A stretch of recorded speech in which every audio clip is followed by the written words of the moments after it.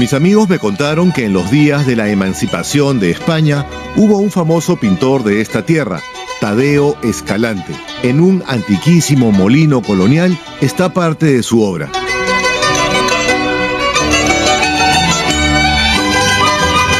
A fines del siglo XVIII, lo normal era pintar temas religiosos, pero aquí él más bien pintó la historia, incluidos a los 14 incas.